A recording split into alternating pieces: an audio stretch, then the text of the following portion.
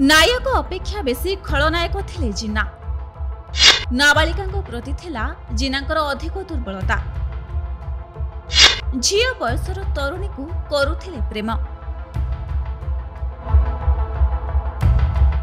ମହମ୍ମଦ ଅଲି ଜିନା ଭାରତ ସ୍ୱାଧୀନତା ଆନ୍ଦୋଳନ ବେଳର ଏକ ପ୍ରମୁଖ ଚେହେରା ତେବେ ନାୟକ ଅପେକ୍ଷା ସେ ବେଶୀ ଖଳନାୟକ କାରଣ ତାଙ୍କ ଜିତ୍ ପାଇଁ ଖଣ୍ଡ ଖଣ୍ଡ ହୋଇଥିଲା ଭାରତ ଗଠନ ହୋଇଥିଲା ପାକିସ୍ତାନ ହେଲେ ସବୁଠୁ ଚର୍ଚ୍ଚାରେ ଥିଲା ତାଙ୍କର ପ୍ରେମ କାହାଣୀ।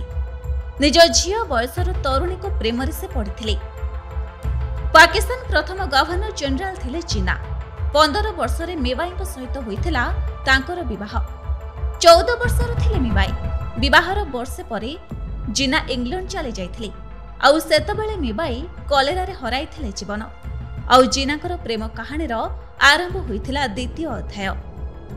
ପତ୍ନୀଙ୍କ ମୃତ୍ୟୁ ପରେ ଦ୍ୱିତୀୟ ବିବାହ ପାଇଁ ଜିନାଙ୍କୁ ପରାମର୍ଶ ପିତା ଦେଇଥିଲେ। ହେଲେ ସଫା ସଫା ମନା କରିଦେଇଥିଲେ ଜିନା ଆଉ ନିଜକୁ ରାଜନୀତିରେ ବ୍ୟସ୍ତ ରଖିଥିଲେ। ହେଲେ କିଛି ବର୍ଷ ପରେ ପାର୍ସୀ ଯୁବତୀ ରତନ ବାଇଙ୍କୁ ସେ ଭେଟିଥିଲେ। ଆଉ ପ୍ରଥମ ଦେଖାରେ ଦେଇ ବସିଥିଲେ ମନ। ସେତେବେଳେ ରତନ ବାଇଙ୍କର ବୟସ ଥିଲା ମାତ୍ର ଷୋହଳ ବର୍ଷ। ଆଉ ମୁମ୍ବାଇର ଜଣେ ଧନୀ ବ୍ୟକ୍ତିଙ୍କର ସେ ଝିଅ ଥିଲେ। ସେପଟେ ରତନ ବାଇଙ୍କର ବାପା ଥିଲେ ଜିନାଙ୍କର ବନ୍ଧୁ।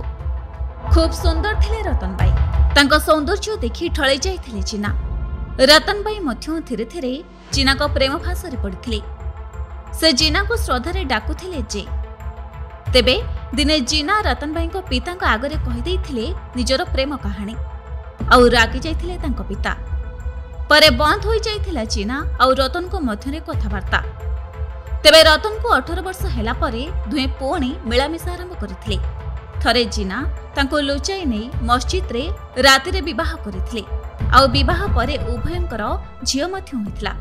ହେଲେ ସମ୍ପର୍କରେ ପ୍ରଭାବ ପକାଇଥିଲା ବୟସର ତାରତମ୍ୟ। ଖୁବ୍ ଦୁଃଖରେ ରହୁଥିଲେ ରତନ। ସ୍ୱାସ୍ଥ୍ୟାବସ୍ଥା ମଧ୍ୟ ବିଗିଡ଼ିବାରେ ଲାଗିଥିଲା। ଆଉ ଶେଷରେ ପ୍ୟାରିସରେ ଚିକିତ୍ସିତ ହେଉଥିବା ବେଳେ ପ୍ରାଣ ହରାଇଥିଲେ Ratan. Bureau report Kalinga today live.